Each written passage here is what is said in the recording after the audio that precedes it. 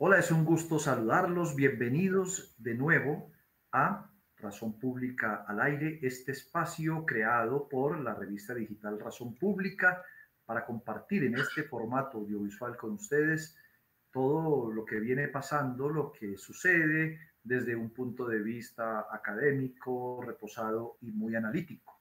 Y hoy en este día de resurrección vamos a hablar de la reforma política de la pasión, muerte de la reforma política y que le viene ahora y si habrá una, una resurrección.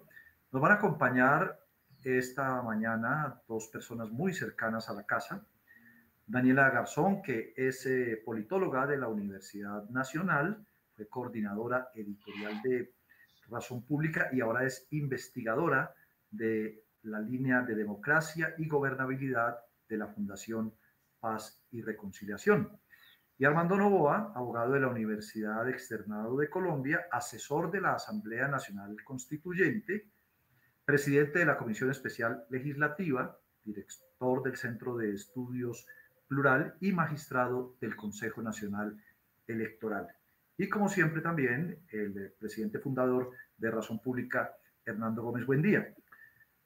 Les decía entonces, estamos en época de resurrección, pero a la reforma política una de las joyas de la corona del gobierno de Petro, le han eh, precedido unos días realmente de pasión y de viacrucis.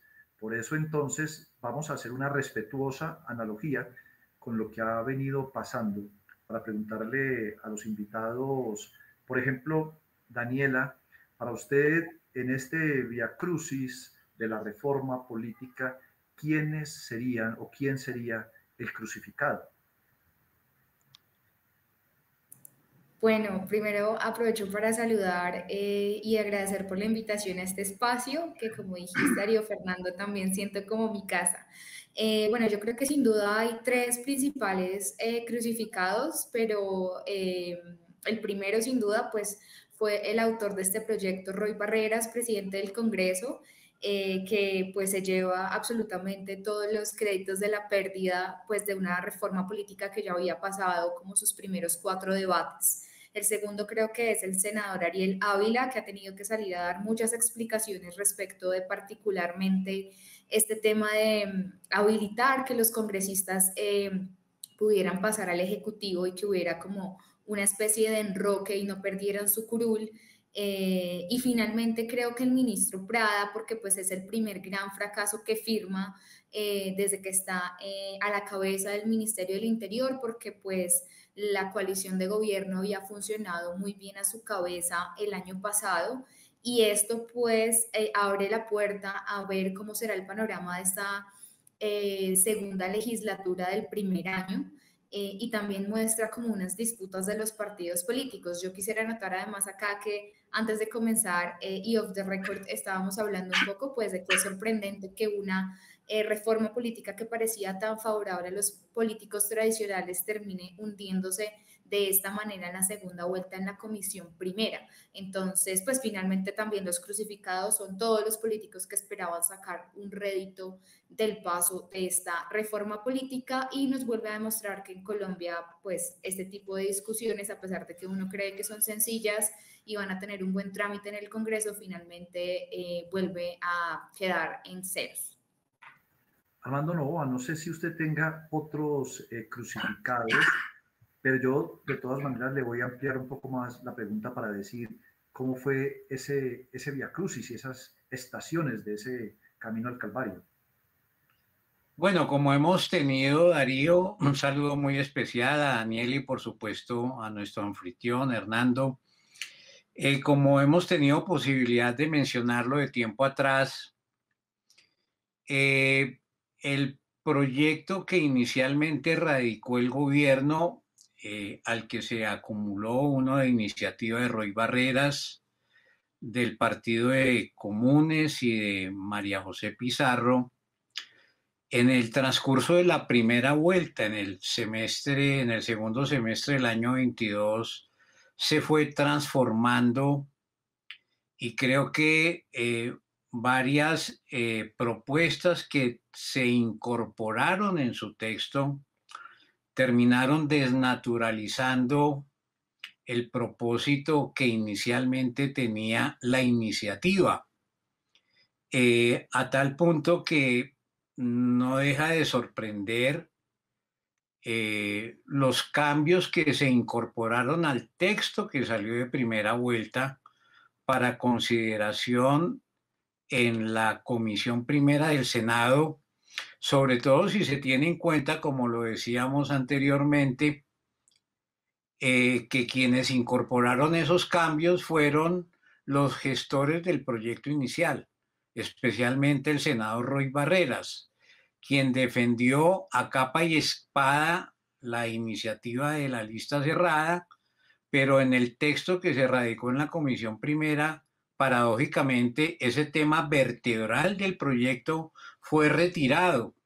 Y las cosas que iban mal terminaron empeorando el proyecto, como por ejemplo la edición que se introdujo al artículo 181 de la Constitución, incompatibilidad de los congresistas, que no solamente permitía que los congresistas saltaran al Ejecutivo, sino como una cosecha, según dicen, del senador Ariel Ávila, le incorporó una frasecita adicional según la cual si el congresista se aburría en el gabinete ministerial, podía devolverse nuevamente al Congreso y el congresista que lo reemplazaría en su ausencia tendría que dejarle nuevamente la curul para que el congresista exministro pudiera ocupar su cargo. Eso no tenía ninguna presentación y lo que resulta inexplicable es que esto salió de la pluma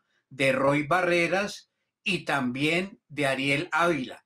Entonces, para eh, complementar lo dicho por Daniela, que yo comparto completamente, yo creo que hay otros dos sacrificados que vale la pena mencionar aquí. Los partidos de la coalición del pacto histórico. La bancada, Hernando, de Cámara de Representantes hizo una declaración quitándole el respaldo a la iniciativa, lo que dio lugar a un Twitter del presidente de la República. Y, y mientras que la bancada en el Senado estaba defendiendo el proyecto. Y en segundo lugar, el papel también muy sorprendente de la Alianza Verde, porque mientras Ariel Ávila defendía capa y espada el proyecto, JP Hernández eh, era uno de los voceros más destacados de la impugnación y de la proposición de que fuera archivado el texto. Entonces, además de Roy Barreras, de Ariel Ávila, del ministro del Interior, eh, yo agregaría esa lista al pacto histórico, sobre todo en el Senado, y a eh, el partido Alianza Verde. No tenemos partidos para temas definitorios. Eh, deben estar en esa crucifixión que se está mencionando. Además con autoflagelación incluida, que ya, o sea, no necesitaron dársela de afuera, sino que parece por esto que, que dicen habérsela dado los mismos autores y promotores de la reforma. Pero si hay crucificados, debe haber también gente eh, jugándose las vestiduras, rifándose las, las vestiduras como en el, en el pasaje bíblico. ¿Quiénes estarán en esa celebración, en ese juego de vestiduras, Daniela? Pues creo que como ya lo mencionó Armando, eh, en la posición que vino del pacto histórico y que también está eh, una parte en lo que fue la coalición del Centro Esperanza, celebra porque también hay que ver la disputa que hay en este momento por quién será el siguiente presidente del Congreso, que va a ser vital para que eh, pues finalmente eh, el, paquete de reformas que ha presentado el gobierno de Gustavo Petro siga adelante. Entonces yo creo que ahí lo que ha mencionado Armando es clave porque hay una división, por ejemplo, en el Partido Verde en el que unos salen perdedores como Ariel y otros salen, digamos, a cobrar los réditos eh, en contra, por ejemplo, de haber mencionado de primera los micos como Catherine Miranda o Angélica Lozano.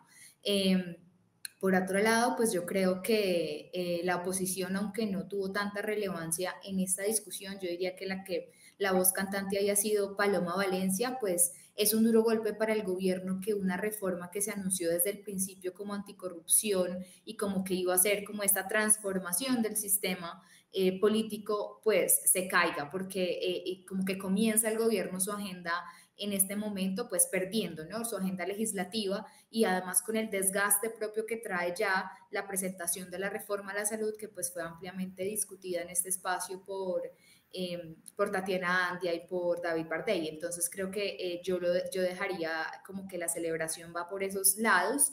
Yo también creo que, por ejemplo, y debo decirlo, eh, por la cercanía que tiene la Fundación Paz y Reconciliación con Ariel, pues algunos de sus contrincantes políticos también celebran, ¿no? Y salen a decir que cobran algunas de las cosas que habían dicho sobre él Em, en medio de este debate, como Carlos Fernando Galán, como otro tipo de personas que están muy próximas a entrar en la contienda electoral que tendremos en octubre. Daniela, y bueno, Armando, y cuando no se puede cambiar la forma de hacer política en Colombia, pues ¿quiénes son los que más celebran? No, pues yo creo que hay una respuesta inmediata, es que la clase política tradicional, la que ha sido eh, usufructuaria del personalismo, de, la individualización extrema eh, de la actividad política y electoral, eh, pues salen gananciosos de este episodio. Y lo paradójico es que salen gananciosos sin hacer ningún esfuerzo. Eh, es que fue las contradicciones, las inconsistencias dentro de la alianza gubernamental, le sirvió en bandeja de plata a la oposición eh, eh, eh, reivindicar el hundimiento de la reforma política a pesar de que ya la había hundido el propio presidente Petro. Pero la discusión sobre la lista cerrada, sobre la necesidad de la democratización de los partidos, sobre la necesidad de que se exploren eh, eh, instrumentos para garantizar la transparencia en la financiación de las campañas. Todo ese debate se perdió en medio de un mar de contradicciones, de inconsistencias y de ligerezas de parte de los líderes más importantes del pacto histórico, en particular de Roy Barreras. Entonces, quienes ganan con esto es la clase política tradicional. Claro, también ganan sectores, por ejemplo, eh, del Partido Alianza Verde, que por otras razones se oponían a la lista cerrada. Yo no creo que sea una buena idea decir que todos los buenos estamos alineados con la lista cerrada y todos los malos están alineados con el voto preferente. Pero eh, en el contexto colombiano, como lo dijeron varios editorialistas, esta debía ser una idea eh, que debía discutirse, mm, digamos, de manera más detallada. Eh, la clase política tradicional gana y lo que está por verse es cómo va a capitalizar en el próximo proceso electoral una situación como la que se desprende de esta situación. Sí, y vamos a seguir con las analogías, eh, porque en este momento abrimos un paréntesis para escuchar también los comentarios de Hernando Gómez Buendía. Sí, yo, yo creo que Daniela y Armando pues han hecho una explicación excelente de lo que pasó con la reforma. Visto un poco en contexto, yo lo plantearía de esta manera. Lo primero que hay que entender la reforma política es que son los partidos, las reglas no hacen los partidos, sino que los partidos hacen las reformas. Es la primera cosa que hay que tener claro. Es decir, yo digo que en Colombia las reformas políticas es como que cojamos un naipe, lo repartamos, cada uno mira sus cartas y después de mirar las cartas pregunten, ¿y ahora qué jugamos? Eso es el fondo, digamos, del problema. Entonces, Armando lo ha dicho con mucha claridad, hay cosas deseables que el gobierno proponía y que buscamos los demócratas, que es el fortalecimiento de los partidos, su transparencia, su unificación, la democratización interna, son cosas que el país necesita y que una democracia necesita. Ese es el ideal Y la reforma al principio, Armando, tenía esos elementos. Y eso era lo valioso. Pero eso llega al Congreso real. Y el Congreso real, realmente lo que hay en su fondo de esto, para mi opinión, el problema de fondo es la completa atomización de la política colombiana. Esto es un proceso muy largo, muy, que ha tenido variaciones, un poco de historia. Pasamos del bipartidismo, la constitución del 91 liberalizó de tal manera la creación de partidos que tuvimos 63 partidos en, en 2002 vino el actor, vino, vino Uribe, los partidos se recompusieron un poquito, y a partir de 2016, sobre todo con el acuerdo de paz y otra serie de cosas, de coaliciones y restauración históricas, hoy estamos en 31 partidos. Pero lo que está pasando es que realmente la política en Colombia hoy es fundamentalmente una empresa individual, como, como dice Armando y Daniel. Es una empresa, son empresarios, son clanes políticos, son gente individual con muy poca disciplina de partido. Y lo que muestra este proceso, esta pasión, muerte y no resurrección de la reforma política, es la indisciplina de todos los partidos, de la coalición de gobierno, de, de Rey Barreras, del Partido Liberal. Todos los partidos mostraron su gran indisciplina. El resultado de esto es que no se, se enredaron ellos mismos, no salió la reforma y como también dicen Armando y Daniela, el ganador de esto pues son los mismos políticos, porque las reglas de juego infortunadamente no se van a cambiar. Creo que eso es un poco el contexto eh, de lo que está pasando, es que yo ofrezco como una interpretación. Yo, no sé, Darío Fernando, me gustaría como agregar algo que me parece súper importante, eh, que nosotros desde la fundación y particularmente, digamos, Esteban Salazar, eh, que es el coordinador de mi línea, ha sido muy insistente en esto y es que esta reforma no ha atacado el principal problema que a mi juicio tiene hoy el sistema de partidos, y es que volvimos a esta, a esta atomización que menciona Hernando, pero además con una distorsión de las normas electorales que raya en la interpretación absurda de las mismas, ¿sí? Entonces, se había creado, por ejemplo, la norma del umbral electoral en Congreso para mantener pues digamos, alguna relación entre la representación y los votos y la creación de partidos políticos, ¿sí? Ya que no tenemos, digamos, un anclaje en las ideologías, no tenemos estos dos grandes partidos y ahí está deshielo del, bipartidismo que viene a caracterizado a Gutiérrez Anín. Entonces habíamos creado esa norma y cuando uno mira, y, y Armando por supuesto es un experto en esto, las últimas decisiones del Consejo Nacional Electoral, de la Corte Constitucional, incluso del Consejo de Estado, lo que han hecho es un poco torcer lo que decía realmente las normas electorales para crear hoy 33 partidos políticos y todavía hay una fila esperando para personería jurídica que uno ni siquiera puede decir con certeza cuántos votos tiene porque la mayoría ni siquiera tiene representación en el Congreso, ¿sí? Entonces esto es muy grave porque uno, o sea, solo incluso para la mecánica y la logística electoral tiene unas implicaciones enormes porque la gente va a tener 33 logos distintos en las elecciones de octubre. ¿Cómo hace la gente, o sea, cómo metes tú en un espectro ideológico 33 partidos? Es imposible. Eh, y esta reforma jamás pensó en atacar eso. Y con este gran nivel de dispersión partidista aumenta significativamente el costo de la gobernabilidad de un presidente, porque si tenemos que negociar con 33 partidos, o sea, con de a dos o tres congresistas, imagínate cómo forma uno una coalición de gobierno. Y creo que eso es, eso es una cosa que ni el pacto histórico ni quienes plantearon esta reforma política pensaron, pero además el propio artífice sacó su, partido político propio, que es Roy Barreras, que luego de más de 30 años de trasegar en la política, finalmente hoy tiene una chequera de avales a su nombre, ¿no? Y lo logró en medio de esta distorsión de las normas electorales. Sí, yo quiero eh, preguntarles también, yo voy a empezar con Armando, es, estamos, sí, pues eh, hablando de, de, una reforma que tuvo una pasión muerte, no sabemos el tema de resurrección, ahora lo miramos, pero mm, sí se perdió realmente algo valioso al hundirse esa reforma que había ahí, que valía la pena y que se está perdiendo. Y la otra pregunta es, ¿de qué nos salvamos también al no haber eh, pasado esa reforma? Sí, Darío. Bueno, yo creo que eh, teníamos y aún eh, seguimos teniendo, pero ahora con menor fuerza, un momento de reformismo institucional como pocas veces existe en, la historia de los países. En el caso colombiano, pues eh, se ha comentado cuáles son las características de este periodo, este momento. Hay un, hay un momento que se puede caracterizar como de, reformismo, con un énfasis social eh, por parte del gobierno del presidente Petro. Y dentro de ese escenario, por supuesto que cabía la reforma política.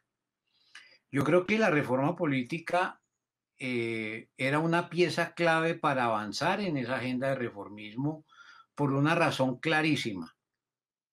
Y es que cuando se trasladan recursos adicionales a las políticas sociales para beneficiar a, sectores especialmente afectados por la pobreza y la exclusión, si no hay un nuevo arreglo institucional que le dé más transparencia a la mediación política y al principio representativo, pues ese dinero en buena medida va a quedar en el bolsillo de la clase política tradicional.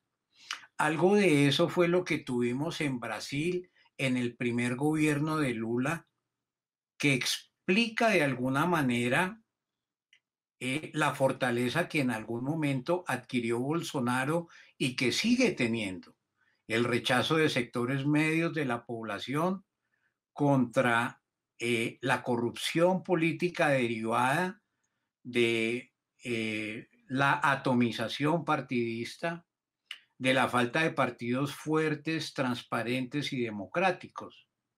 Entonces yo veo el fracaso de la reforma política en esta primera parte del gobierno de Petro como un enorme riesgo para que los recursos que se han logrado eh, concretar por efecto, por ejemplo, de la reforma tributaria, corren el riesgo de quedarse entre las tiendas.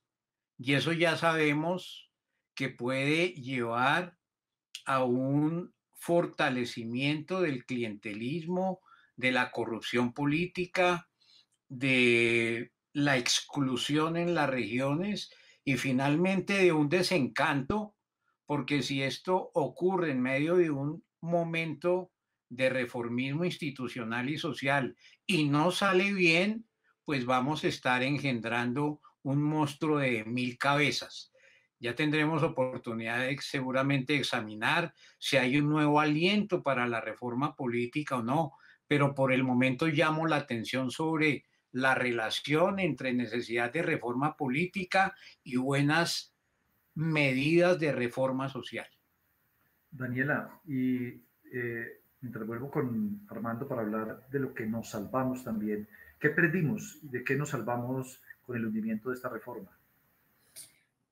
Bueno, yo creo que una bandera con la que inició esta reforma es las listas cremallera y yo creo que en algún momento tenemos que volver a impulsar la idea de la paridad en política, eh, porque esto va a obligar a los partidos a financiar las campañas de mujeres, porque creo que eh, muy buena parte de las mujeres que han estado en el Congreso han tenido unos, em, unos eh, desempeños destacables y porque finalmente es una deuda que hay con la paridad de género.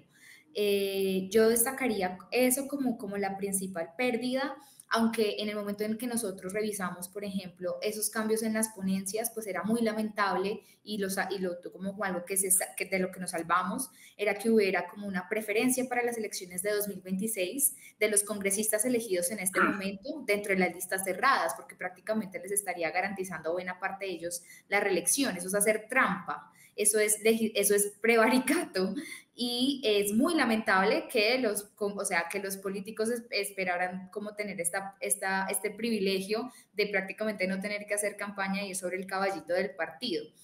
Eh, por otra parte, pues eh, particularmente a mí este tema del cambio entre, entre, el, entre el gobierno y el legislativo me parece que nos salvamos de una confusión aún mayor eh, sobre pues la norma básica de las democracias liberales y es el equilibrio de poderes y el peso y, los pesos y contrapesos. Cuando uno empieza a mezclar el ejecutivo con el legislativo, probablemente pone en riesgo esas normas básicas de la democracia y es que ambas ramas funcionen de manera diferencial, pero además si tú le dejas a un congresista ser ministro, imagínate la por ejemplo, los recursos que puede o no manejar desde un ministerio hacia los intereses particulares del electorado de eh, el, congresista o de su partido. Eso sería, realmente sería muy, muy, muy grave. Y yo quisiera agregar a lo que dijo Armando, que casi nadie está teniendo en cuenta, por ejemplo, la ley de adición presupuestal que está en este momento también en curso. Y es que el gobierno Petro tiene un superávit para gastar que muy pocos gobiernos había tenido fuera desde la reforma tributaria. Y entonces eso implica pues un eh, interés de los políticos de cómo se van a gastar esos recursos en las regiones. Eh, y por otro lado, pues yo creo que Mm, eh, también algunas cosas que nosotros vimos es que todo este tema, por ejemplo, del género, de eh, las poblaciones LGBTIQ, pues le agrega un grado de complejidad a ver cómo, cuáles van a ser los espacios de representación de esas, eh, de esas poblaciones y, y, no está muy claro cómo incluirlas. O sea, apenas estamos en las listas cremallera, pero ahora si tú le agregas el contenido de las mujeres trans, los hombres trans y toda la comunidad LGBTIQ que también reclama una representación política y vas a encontrar un problema adicional de la conformación de las listas cremalleras. Hay muchas otras cosas que estaban dentro de la reforma, pero yo quisiera destacar esas fuera de, fuera de las que ya se han destacado suficientemente en medios y de lo que eh, nombraba anteriormente Armando. Para mí realmente es una pérdida y creo que con Armando lo discutimos en algún momento, que la reforma nunca hubiera querido tocar la arquitectura institucional, porque nosotros sí creemos que particularmente el órgano electoral necesita ser reformado, que eh, este código electoral, por ejemplo, que está pasando, tiene muchos problemas eh, pero además que si no se hace un esfuerzo para modificar esa arquitectura institucional, va a ser muy difícil dar garantías mucho más serias para que las elecciones se lleven a cabo. Y eso también es un pilar de cualquier democracia y es que los resultados sean inciertos y que la gente tenga confianza en ellos. Y creo que en eso todavía estamos muy atrás y ni siquiera se puso en esta reforma política ese debate. Armando, eh, gracias Daniela. Armando, de todas maneras, este proyecto tenía sus venenos por ahí de los que nos salvamos y quizás montados en esos venenos también venían algunos proyectos políticos.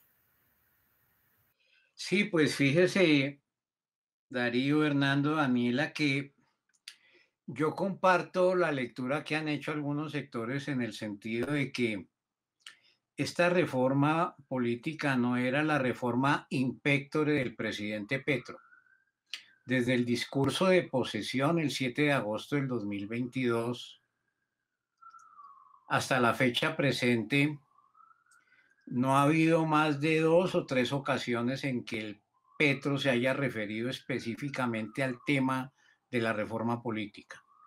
Lo hizo a principio de año para defender la lista cerrada, la financiación estatal completa de las campañas y lo hizo la semana anterior para retirarle su respaldo al proyecto que se tramitaba en el Senado.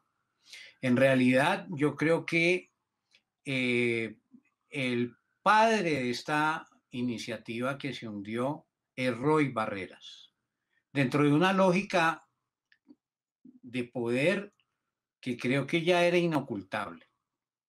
El verdadero núcleo de esa reforma estaba en la modificación del artículo 181, eh, con el siguiente propósito. Eh, Roy Barreras, que jugó un papel muy importante en el semestre anterior con la reforma tributaria, que ha tenido unas opiniones de cierta diferenciación en los énfasis de la agenda gubernamental, eh, aspira a ser candidato presidencial, no precandidato, candidato presidencial. Y eso significaba que vencido el primer periodo legislativo, Roy cesaba en sus funciones presidenciales eh, del Congreso y no creo que fuera de su interés de volverse a sentarse en la misma butaca durante se ha en la cual se ha sentado 20 años antes. No, el propósito de Roy era salir en hombros del Congreso a la Casa de Nariño eh, como ministro de Estado. y de ahí, creo yo, eh, pavimentar eh, el camino para una candidatura presidencial. Eso estaba clarísimo. Roy Barreras decía que quería ser premio Nobel de literatura, que le encantaría ser embajador en Portugal porque es seguidor, como muchos de nosotros, de José Saramago, de Fernando Pessoa, pero en realidad el propósito de Roy era eh, proyectarse como una figura de talla presidencial. Y esta reforma política hundida significa un traspiés en esa estrategia. Roy ya no va a poder ser ministro de Estado eh, por lo menos durante un año después de que deje la presidencia del Senado. Si quiere hacerlo, tendrá que hacerlo eh, eh, su campaña desde la curul del Senado, como podría hacerla, por ejemplo, Iván Cepeda o cualquiera de los otros senadores destacados de los partidos que quieran estar en la contienda presidencial del año 2026. De tal manera que yo veo que aquí hay, eh, no está muy claro aún, eh, una reorientación de lo que veíamos en el escenario.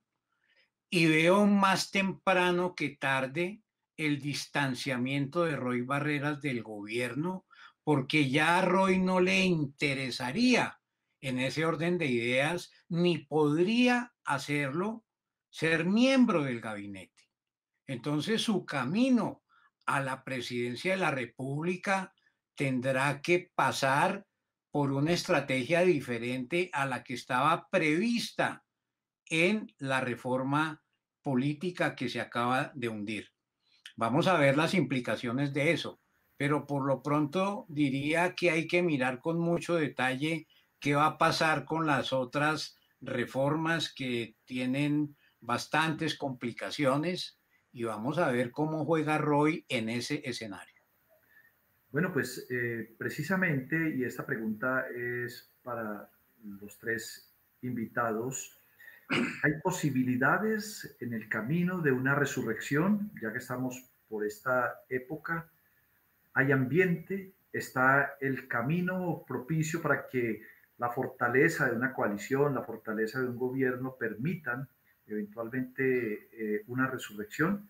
Y comienzo con Daniela.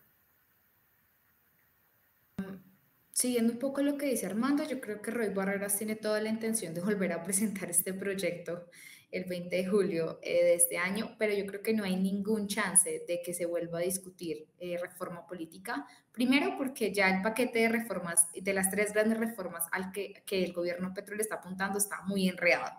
O sea, la coalición de gobierno se enredó antes de tiempo, incluso para, pues, para cualquier gobierno. Se acabó la luna de miel demasiado pronto.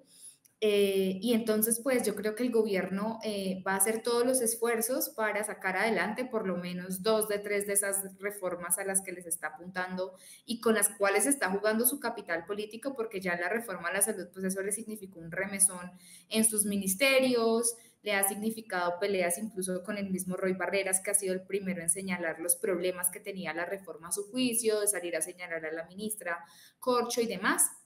Entonces yo creo que realmente es muy difícil que en estos, pues a pesar de que nos quedan más de tres años de gobierno, se vuelva a presentar una reforma política y haya gasolina para tramitarla, porque también creo que el problema fundamental de esa reforma es que poner eh, de acuerdo los intereses de los políticos tradicionales y de los partidos es muy difícil. Y, y, pues como cada uno quiere meter la coda que lo favorece, o sea, de hecho recuerdo que había particularmente un parágrafo que favorecía al pacto histórico y le otorgaba personería jurídica eh, y que se intentó meter eso en, la, en esta ponencia actual y finalmente no, no quedó, pues es finalmente son esas disputas las que no les permiten llegar a un acuerdo, porque cada uno como quiere meter el artículo que le favorece, como nos mostraba Armando, pues finalmente tramitar estos proyectos que terminan siendo, eh, beneficiando o perjudicando directamente a los que están en el Congreso es muy difícil. Así que yo diría pues que no, no hay muchas esperanzas de que volvamos a hablar de reforma política eh, o que tenga, que prospere por lo menos en uno o dos debates en el Congreso. Armando, ¿habrá un tercer día o un tercer año para la resurrección? Bueno, yo creo que lo que queda del año 2023 va a ser difícil eh, que tome cuerpo la idea de tramitar una reforma política. Por una sencilla razón, el segundo semestre vamos a tener eh, una coyuntura electoral y todos los congresistas van a estar volcados en crear poder a nivel territorial, también los partidos políticos. Entonces, eh, algunos, empezando por el propio Roy Barreras, han dicho que todavía hay tres años por delante. Pero eh, Colombia, país de elecciones, más que de democracia, hacemos elecciones todos los días. En el, el primero de enero del año 2024 empieza la competencia por eh, la presidencia en el año 2026. Y eh, en ese contexto va a ser supremamente difícil que los partidos le presten atención a un proceso de reingeniería institucional para modificar las reglas electorales. Eh, tampoco es de descartar, pero si nos atenemos a los antecedentes históricos, no tengo yo en la memoria eh, situaciones en las cuales en la última parte de cualquiera de los gobiernos que hemos vivido se hayan hecho reformas políticas. Esas reformas políticas se hacen al principio, cuando el gobierno tiene aliento reformista. En el caso, por ejemplo, de Andrés Pastrana Arango, hubo el propósito de hacer una reforma política de la cual participó, entre otros, Humberto de la Calle Lombana, pero esa reforma que estuvo a punto de ser aprobada en el año 2002, finalmente se aprobó en la, legislatura, la primera legislatura del 2003 por iniciativa del Partido Conservador y no por iniciativa gubernamental. Ahora, si usted me pregunta qué sería lo deseable, lo deseable es que hubiese un acuerdo nacional, que hubiese un, una mesa eh, de todos los partidos, de la academia, de los medios de comunicación, que pusiera esto luces altas para mejorar la calidad de la política. Pero como dice Hernando, pues cuando no hay luces altas, cada cual quiere sacar partido de la posibilidad de una reforma. No hay que mirar sino lo que teníamos en el proyecto. Eh, coaliciones para el 15% para los partidos minoritarios que les gustara el voto preferente y coaliciones con el 20% para los partidos que fueran en lista cerrada y bloqueada. Eso tenía nombre propio. Una regla de coalición para la Alianza Verde y otra regla de coalición para el pacto histórico los demás que estaban tranquilos, voto preferente y lista abierta. Eso no era serio con el país y como dice Daniela, por fortuna nos salvamos de eso. Quedamos igual, pero si esto se hubiera aprobado, tal vez estaríamos en un escenario peor. Bueno, pues eh, Hernando ya dijo que veía muy poco probable la resurrección.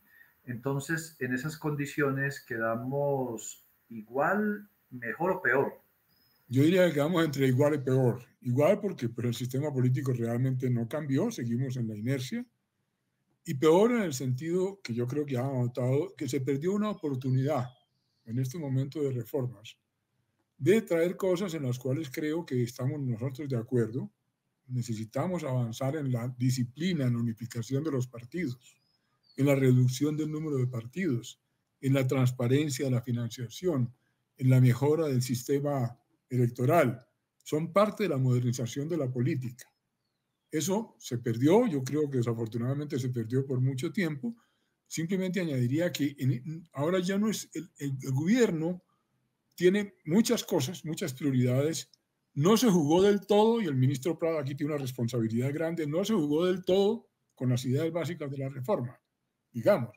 Entonces, ahora yo creo que todavía tiene menos ganas el gobierno de insistir en cosas como la lista cerrada o la lista cremallera o la financiación estatal, porque su agenda ahora está copada por la reforma de la salud, por la reforma laboral, por la reforma pensional y porque en el Congreso, debido a esos factores, está en problemas el gobierno. La coalición de gobierno claramente está sufriendo tensiones serias a propósito de las nuevas reformas sociales. En ese ambiente yo creo que el gobierno no tiene mucho interés realmente en empujar la reforma. Creo que Roy Barreras solo no sabe qué reforma hacer, porque esto se le dañó. Entonces ahora realmente, como dice bien Armando, Roy está completamente enredado. Y de la oposición puede que tengan algunas ideas de reforma, que ha expresado algunos Paloma Valencia, pero no tienen la fuerza, creo yo, en este momento, para tratar de que, de, que sea, de que siquiera llegue a ser discutido en el Congreso. Yo en resumen creo que, como ustedes, la probabilidad de que resucite la reforma es bastante baja y es, digamos, no es malo si hablamos de la reforma que había. Está, mejor, está bien que se haya hundido. Es una gran pérdida desde el punto de vista de lo que uno quisiera para mejorar el sistema político colombiano. Pues muchas gracias a Daniela Garzón, politóloga de la Universidad Nacional, que fue coordinadora editorial de aquí de esta Casa de Razón Pública y ahora investigadora de la línea Democracia y Gobernabilidad de la Fundación Paz y Reconciliación. Gracias a Armando Novoa, abogado de la Universidad Externado, asesor de la Asamblea Nacional Constituyente, presidente de la Comisión Especial Legislativa, director del Centro de Estudios Constitucionales Plural y magistrado del Consejo Nacional Electoral, y a Hernando Gómez Buendía, que nos recibe siempre aquí en Razón Pública. Los esperamos con un nuevo tema, los invitamos a que nos sigan, se suscriban, eh, hagan sus comentarios, digan si les ha gustado este programa, que para nosotros será una retroalimentación muy importante. Muchas gracias a todos. Gracias. Gracias. Buen día. Muchas gracias. gracias. Hasta pronto.